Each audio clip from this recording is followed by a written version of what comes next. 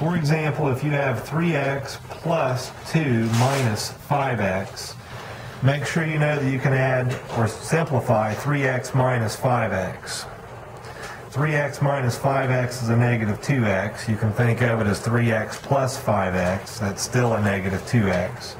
And this plus 2 just stays along.